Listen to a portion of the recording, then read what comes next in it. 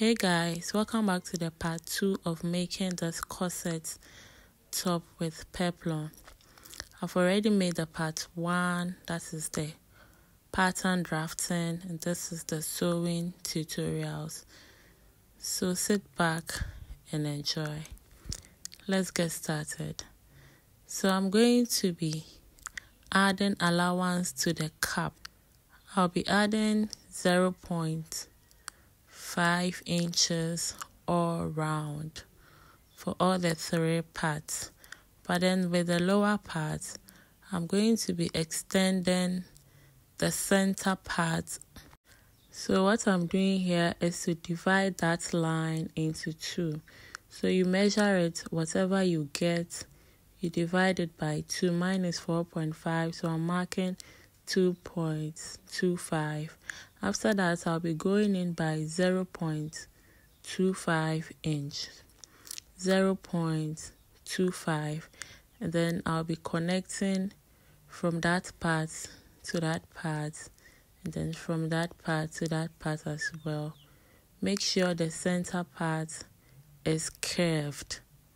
So just like I'm doing, just place your French curve on it like this and then draw in your curved lines. After this, I'll be adding seam allowance of 0.5 inches all round on all the three parts. So this is me marking the 0.5 all round. Note you are adding that 0.5 to the 0.25 you marked earlier. You are marking it all round. So we are doing this to all and at this point I am cutting out after adding the seam allowances. So after adding the seam allowances, this is how it looks like. This is what you should get after adding your seam allowance. At this point, I went ahead to cut out the body of the dress on my lining fashion fabric and then I added interfacing to it. So at the sides, I'm adding 0.75 seam allowance all around and at the cap side, I'm adding 0.5 to it and then the shoulder and then for the sleeve, I'm adding 0.5 to it. Now I went ahead to add interfacing to the main fabric of the blouse. So after adding my interfacing, I'm going to be joining the seams together.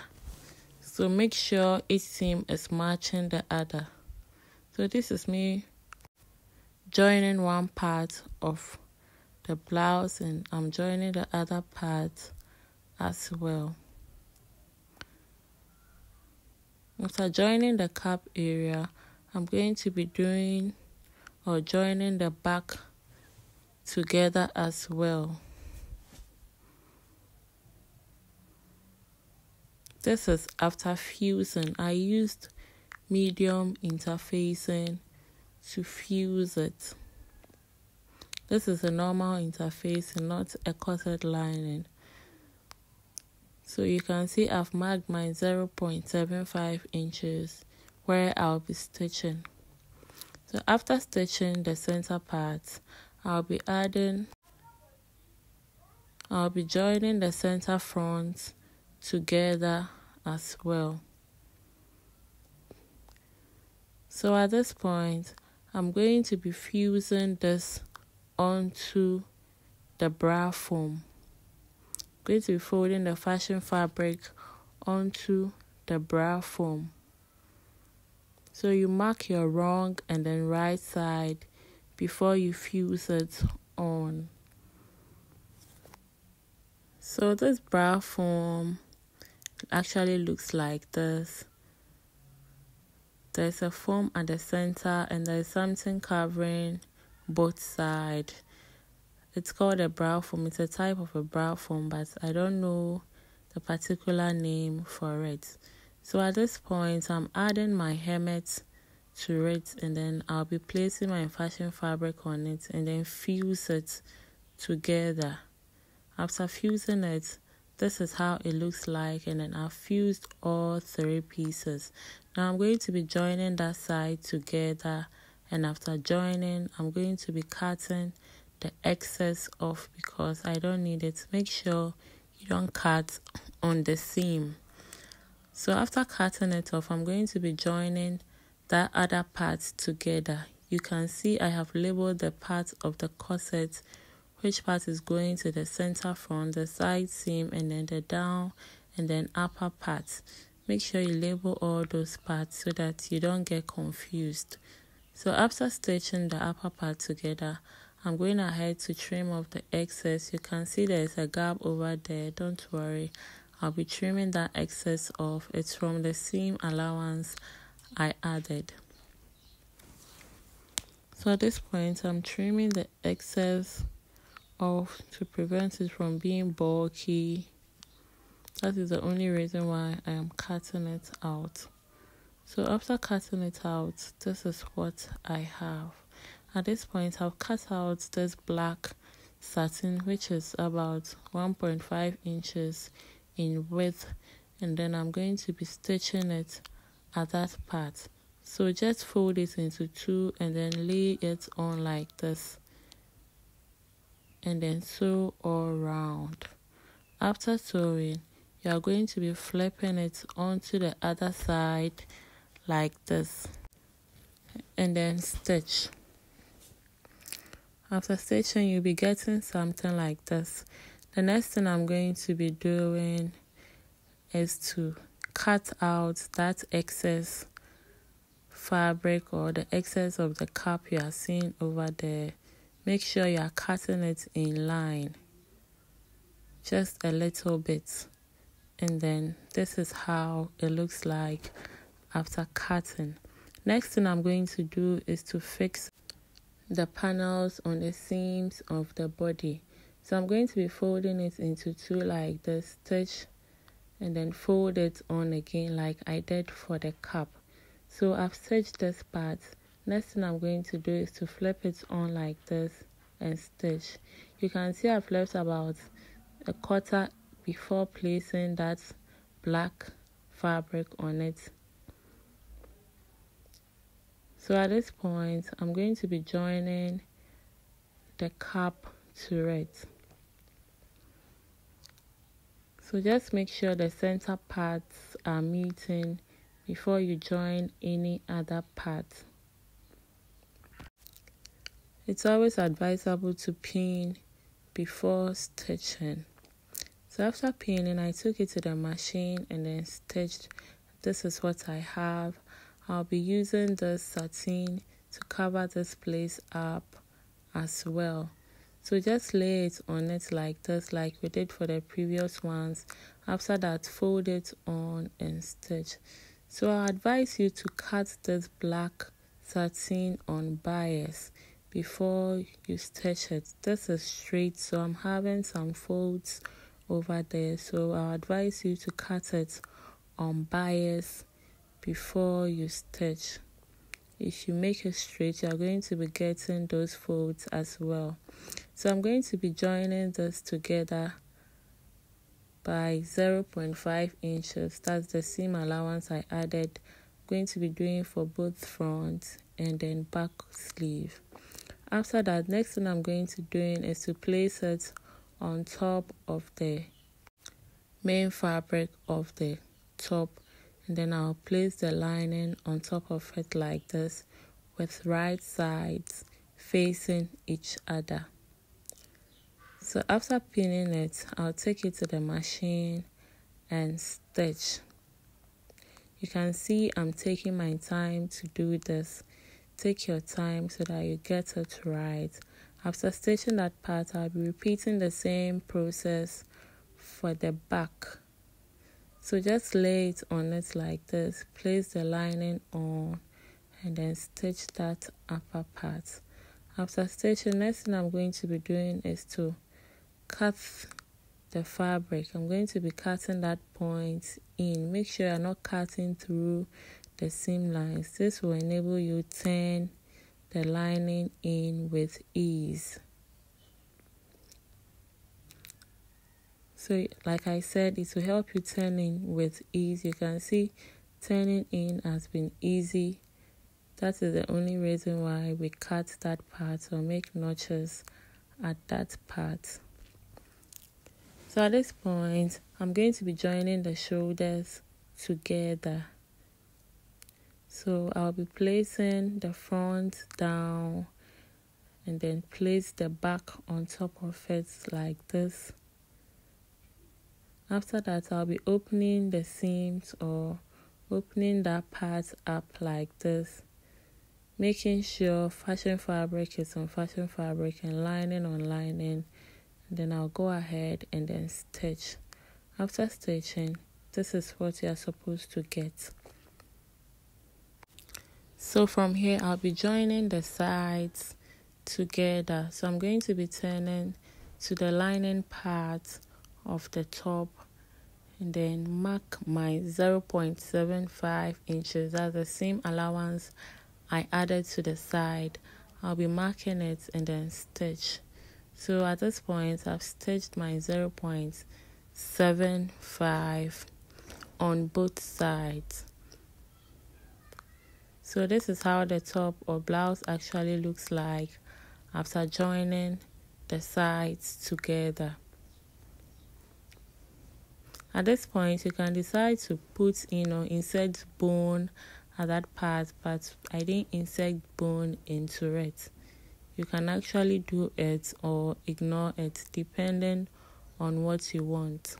Now for the peplum, I went ahead to fold this fabric into two. You can see it unfold and then I added 5 inches gap in between each panel or in between the cut lines I have made. You can extend it or make it more than 5 inches if you want. This is the back also. This is cut into two. The front is on fold. Then I added 0.75 seam allowance at the side seam and then in between I added 5 inches seam allowance for both front and then back. So at this point I'll be joining both together. So just open up the front like this. You can see it unfold you are, you are going to be placing the side seams on top of each other like this for both lining and then fashion fabric then you are going to stitch the sides.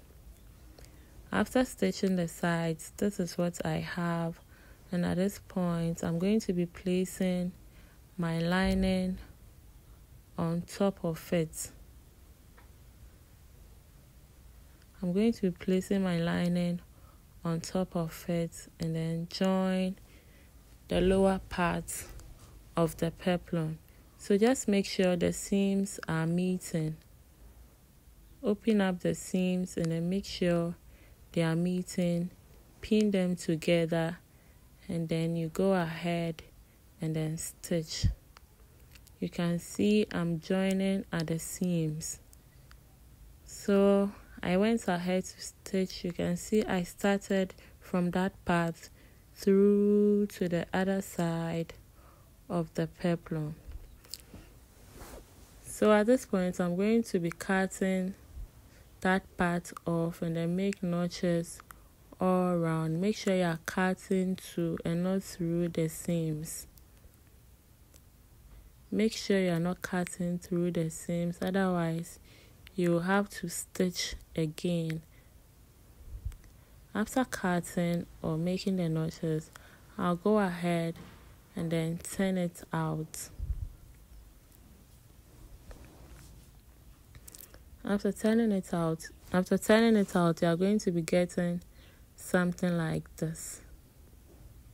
So you can decide to stitch that part or leave it. Next thing I'm going to be doing is to cut out a fabric of width 1.5 and then the length depend on you. So next thing I'm going to be doing is to fold both sides in like this and then fold it on again. Let me redo it for you to see. Fold one side in the other side in and then fold it on again and then stitch to the end. After stitching you're going to be getting something like this I'm going to be cutting it out into 3 inches length each. So this is 3 inches like I said. I'm going to be making marks at the center back of the blouse. So from the upper part I'm going to be marking one inch interval down another one inch till I get to where I want it to end so after marking the next thing I'm going to be doing is to put is to put the cutout pieces on it. So all you're going to do is to place it on like this at the right side of the blouse and then turn it like this. Pin it down, place the other one beside it. You can see I'm working on only the fashion fabric and not the lining. And then turn it again like this till you get to the end or wherever you want it to end. So after pinning, I had four pieces on both sides. So the interval is one inch and then make sure they are all together. There is no space in between. So at this point i had four pieces and i'm going to be flipping or turning the lining on top of it like this and then stitch so you're going to be turning the lining on top of it like this. And then stitch. Let me redo it for you to see. So as it is like this you're just going to turn it on like this. You can pin it down again and then stitch on the same allowance you added. So I went ahead to stitch and I'm turning out for you to see the outcome so this is what I have on both sides of the blouse.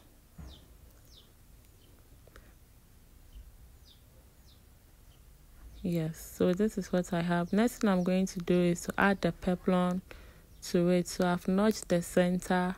And i'm going to be joining the centers together. I mean the center for the blouse and then the center of the peplum together and then pin it down after pinning it down go ahead and then stitch my 0.5 inches seam allowance all round.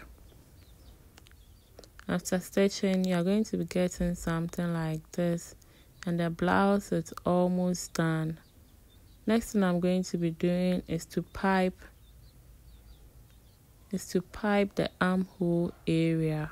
So i'm going to be using a bias tape for that so if you have any bias tape you can use it or you can make one for yourself then use it to finish the raw edges of the armhole. So I went ahead to finish the raw edges. Then this is what I have. Next thing I'm going to be doing is to lace it for you to see the outcome. So the width of the lace is actually the same as what we used for the corset bag. It's 1.5 inches in width and then the length depend on what or how long you want it to be. Yes so after lacing this is what I have this is the finished work don't forget to like comment and share my videos. Don't forget to subscribe to my channel so you get notified whenever I post a new video. Thanks for watching. Bye.